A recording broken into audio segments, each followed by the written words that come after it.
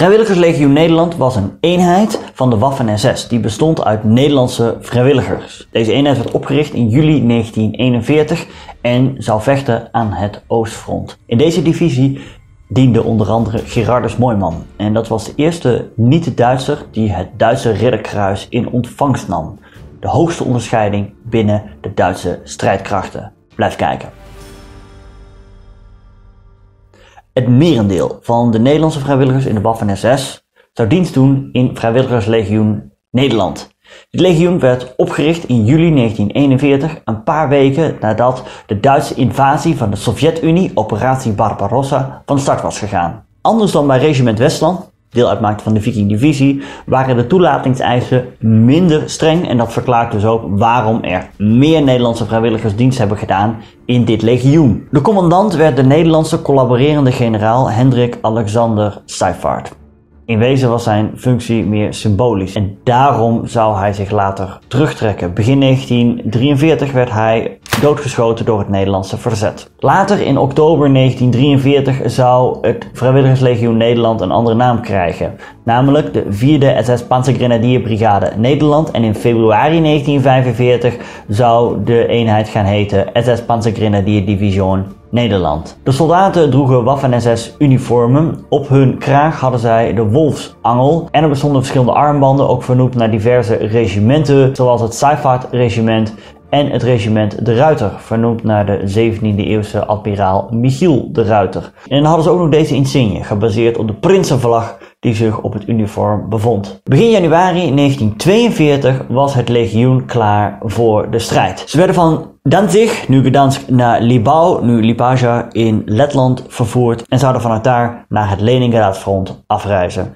Een vrijwilliger schreef het volgende. 7 februari 1942. Wat de burgerbevolking aangaat, hoe deze leeft, is meer als treurig. Ze wonen allen tezamen in één kamer, waar ze met z'n allen in één bed slapen, waar ze koken. In één woord gezegd, alles gebeurt in dezelfde kamer. De taal versta je natuurlijk helemaal niet. Je spreekt daar gebarentaal. Dat is het heerlijk paradijs van de arbeider. Je ziet dat deze vrijwilliger dus het communisme in verband brengt met de armoede en daar een sarcastische opmerking over maakt. De weersomstandigheden waren niet best. Het was ijs en ijskoud. Een vrijwilliger schreef het volgende. De sneeuw lag tot borsthoogte en het was zeer zwaar om vooruit te komen. Wanneer het tot een gevecht was gekomen, dan hadden we onze gewonden niet mee hebben kunnen nemen en deze zouden ook direct doodgevroren zijn bij een temperatuur van 43 graden onder nul. Vanaf februari tot juni 1942 nam het legioen deel aan verschillende gevechten waarin de Sovjets hier en daar aanvallen openden. Uiteindelijk werd tijdens deze gevechten de Sovjet-generaal Vlasov opgepakt.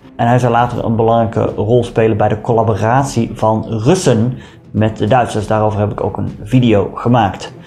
Na een van de zware gevechten schreef een vrijwilliger het volgende. 14 april 1942. De velden achter de huizen zijn bedekt met honderden gesneuvelde Russische krijgers. Verder ontdekt men overal kadavers van koeien, paarden en andere beesten. Alles is kapotgeschoten. Het geheel doet mij denken aan de Wereldoorlog. Het is één grote troosteloze bende. Met Wereldoorlog bedoelt deze vrijwilliger uiteraard de Eerste Wereldoorlog. De vrijwilligers hoopten op een doorbraak bij Leningrad. Echter, Leningrad werd nooit door de Duitsers veroverd.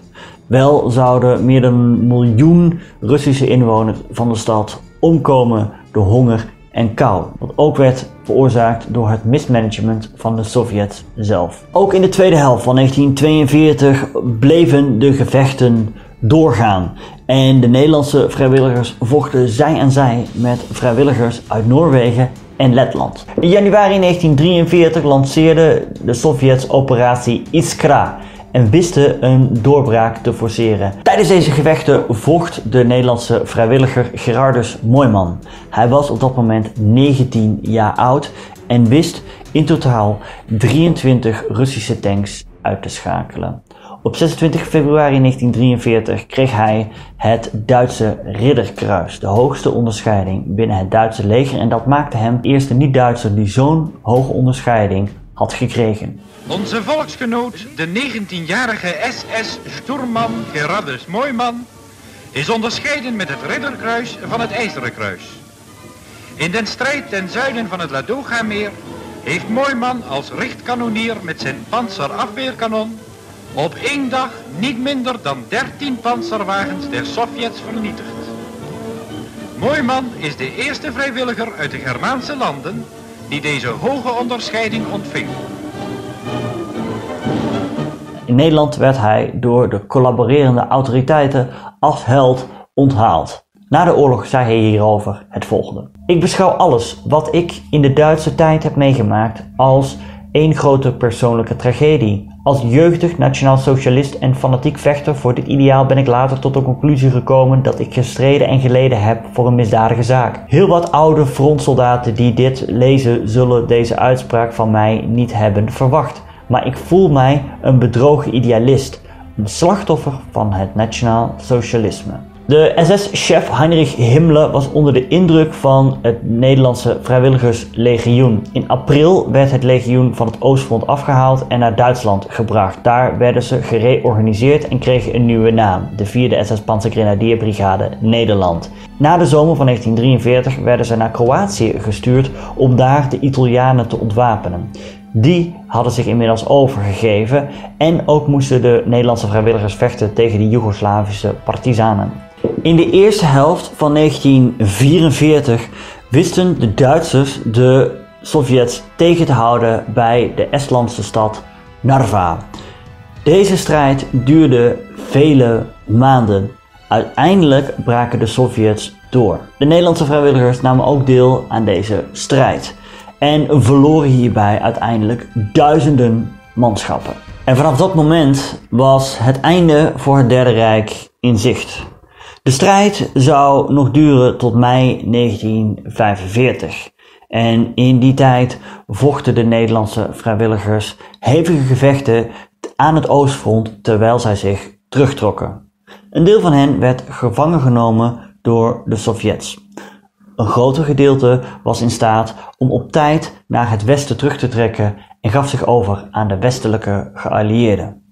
Hoe het verder ging met hen, daarover vertel ik in een toekomstige video. Als jij meer wilt weten over Nederlanders in de Waffen-SS, klik dan vooral hier. En als jij meer wilt weten over het Oostfront, klik dan hier. Bedankt voor het kijken, tot de volgende keer.